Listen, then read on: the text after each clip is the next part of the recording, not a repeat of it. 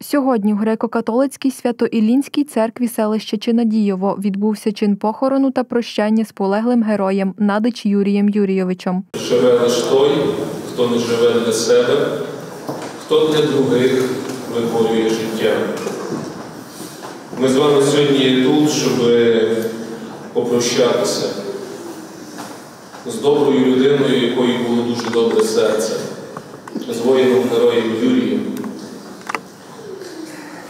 який загинув, але він виборював життя для нас із вами, тому що захищав. Юрій Надич, військовослужбовець, герой своєї держави, віддав життя за мирне небо та вільну землю своєї батьківщини. Родина, друзі та всі, хто знав чоловіка, прийшли провести у останню путь чудову людину, хороброго воїна та захисника. На жаль, ми мусимо ховати наших молодих героїв, але дійсно з пам'яттю і пам'ятати, за що вони поклали своє життя.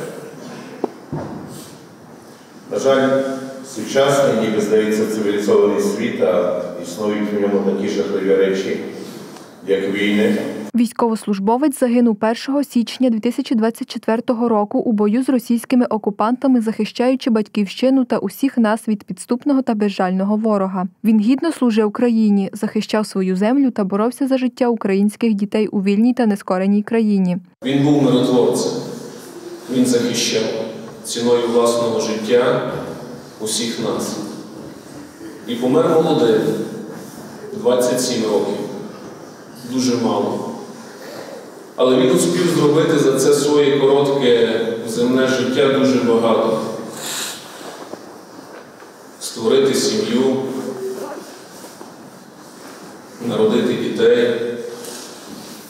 І що саме головне, це те, що він захищав. Він, він був там, де багатьох не було із нас, які не знають, що таке війна. Висловлюємо щирі співчуття рідним та друзям загиблого. Війна забрала тисячі невинних життів. Військові гинуть смертю хоробрих, захищаючи батьківщину на передовій. Пам'ять про кожного із захисників житиме в серцях українців вічно, адже герої не вмирають.